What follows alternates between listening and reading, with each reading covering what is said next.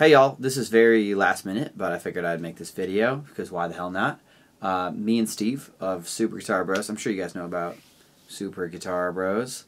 Um, we're playing a show at the Beat Kitchen in Chicago, and that's going to be happening in literally two days. So I know it's like very short notice.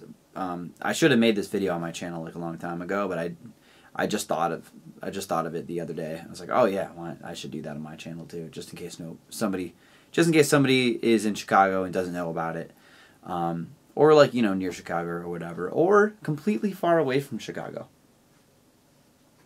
You know, there's no limit to how far you can be from Chicago and still see the show. Do you know what I'm saying? Do you like? Do you feel me, dog? so yeah. Uh, also, we got our boy uh, Jer opening opening the show for us. Uh, he's gonna do a set of some video game music. He's an awesome keyboard player and and a good friend of ours.